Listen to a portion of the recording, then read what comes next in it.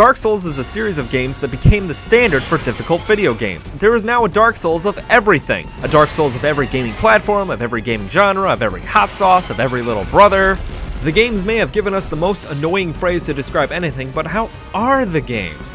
Well, we're not reviewing those today. We're reviewing the original Dark Souls of the Dark Souls games. The one me and maybe five other people on the planet have actually played. Demon Souls. Demon Souls is a game with a story.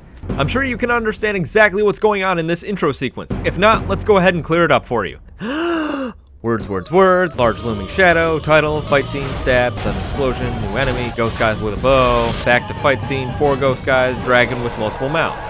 I hope that cleared it up for you. If not, then you can read up on the lore another time and get the full story. Basic gist is there was a kingdom. It fell to monsters, and now you're gonna go murder all of them. Create your monster conquering dude or dudette with the character creation part of the game that's as intricate as any Tony Hawk Pro Skater game. Then thrust yourself into the real synopsis of the story in this game told through this opening cutscene which you can read about later. Basically, as I said before, the kingdom of Boletaria has fallen to demon-stealing monsters, and you are the only one that can stop them. You're brought to the tutorial level where you'll face basic level enemies until you learn the controls. Then it'll pit you against these pricks, the Blue-Eyed Silver Knight. These guys have pretty advanced AI and are littered throughout the entire game. Of course, there's a very simple way to deal with them, but I'll shroud that in mystery. Who knows how to do it? Who knows?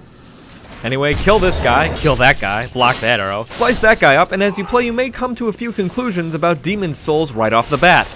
1. Pressing pause does not pause the game. This means if you want to switch items, equipment, or weapons, you gotta make sure you're not near any enemies, otherwise they'll murder you while you're switching your greaves. 2. Demon Souls likes to surprise you. Enemies are placed on the cusp of corners so you can't see them coming before they stab you, slice you, hit you, or knock you down. You have to be prepared to defend yourself every single time you turn a corner, or a low-level enemy prick or an unseen trap can and will end you. 3. Ragdoll physics are the best. I bet you don't believe me. Think about it like this. That one Steve that stabbed you as you turned the corner now has no choice but to endure you laughing at him as you kick him off a cliff. Nah, f you, Steve. Slice, roll, and stab your way through the tutorial until you come to your final fog. Walk through it and meet the very first boss of this game. Yep, this brick house against your weak ass. This battle isn't super difficult minus the demon that can one-shot you, but that's okay. You're meant to die. Also, you will never get another chance to fight this guy in this place again. I don't know where the area is located, but I would have loved a second shot at him. There's another one of him later in the game, but I wanted to fight this one again. Anyway, you die and your soul is brought back to life within the Nexus, which connects Boletaria. Something something Archstone something something something story. Anyway, you'll notice your health has been cut in half. Well, that's not fair. You can fix this by defeating boss demons to reclaim your physical body. Alright, cool concept. Now let's meet the people you're trapped in the Nexus with. Andy, if you would do the honors. We have the worst shopkeep ever because you can't sell items to him, you can only buy them. A plan that will only cause him to run out of stock sooner or later. He's a card and he's short. Storage guy. I'm Stockpile Thomas. That's his old shtick. He stores things. Soul grab lady. She's dressed in all black and looks like someone sewed a pancake to her face. She offers you upgrades to your stats, but only after you beat the first boss in the first world. Next, we have Stone Kid. He's made of stone. He is a one-off NPC that appears once, then you forget about him. Who else do we have? Oh, Ghost Guy! He sits there. That's his whole deal. Here we have a dude. He's basically useless and a host of other interchangeable characters you can choose to and not to care about. Also, hurting people in the Nexus will cause hostility, and the Nexus doesn't offer too many places to hide, my friend. Enjoy the persistent enemy oh, you created, you sadist! Thank you, Andy. As I'm sure you've noticed by now, there are these wispy guys running around on screen. Well, that's because those are other players playing Demon Souls at the same time as you. You can physically see them doing things. Other players logged into Demon Souls servers can leave helpful messages, run around in their own game, and even leave you short holograms of how they died, whether it be to an enemy, a trap, or absolutely nothing in particular. We'll get to the worst part of this online system later. For now, go ahead and touch your first Archstone and come to your first world, Boletaria Palace. From here, your adventure jettisons itself from the screen and onto your shoulder Kill things, collect souls, kill more things, get more souls, spend souls on weapons and upgrades. Dungeon crawling in this game does feel legitimately fun as you pull switches, watch out for traps, and kill enemies. It feels like a different type of gauntlet game. I do have a lot of fun going through this. Well, that wasn't very nice. As I was saying, I do have legitimate fun going through this area. When you die in this game, you leave behind a bloodstain and all of your souls. If you go back to that spot and touch the bloodstain, you can get all of your souls back. If you die in your physical form, you'll lose that form and your HP will be cut in half again. Also, watch your green stamina bar. That will allow you to run, dodge, guard, and attack. If you run out, you can't do these things. I didn't mention it before because it won't become a problem until this level. Makes sense though, as this is the first real level of the game and is a prelude to the rest of the game. Back to the worst part of this always online system. From Software included this fancy little feature that allows you to invade others' games and kill them as a Black Phantom or help them as a Ghost type guy. This was one of the main grabs of the game as people with friends could beat up blobs together and assholes could ruin hours of soul collection just by being a jackass. I never used this feature myself, but other people sure did. I think this game spawned my hate for games that have an always online feature and allow random people to jump into your game. This, or Dead Island. Stibble, stabble, and stumble your way through this level until you come to the second real boss of this game, the Phalanx. This boss is made of many of these shield blob guys and is very vulnerable to fire and pierce attacks. Because the sword takes too long to perform a pierce attack, I suggest having a spear or lance to fight this thing. It'll make the battle much easier with that, a shield, and a metric ton of fire bombs. It's not necessarily a difficult boss, it just has a lot of HP for a first time player. It also throws spears at you. They hurt.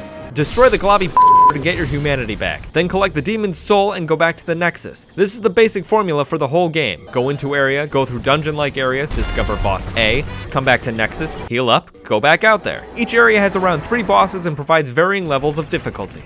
As fun to run through as this game was, and as fantastic and difficult as some of the bosses were, nothing can shake my main criticism of this whole game. The final boss. Old King Allant. This is one of the most disappointing final bosses ever. This game is built off of a system of scaring you by killing you, forcing you to go back home, get more powerful, and come back and try again. Each boss felt threatening and dangerous. Even the Phalanx, even the fucking Phalanx felt dangerous. It was a blob six times your size that could throw spears at you. While this is not the most threatening boss, everyone still had moments of, I'm not going to make it.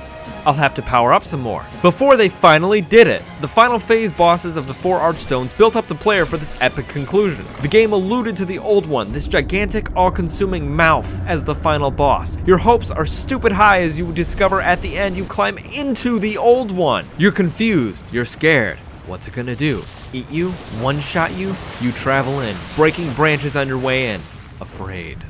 Suddenly, you come upon this deformed blobbish creature lurking in a shallow puddle. You arm yourself. You prepare. Is it the tongue? Is it the heart? Is it a testicle? You cleave your sword into it and discover it's fucking weak as shit.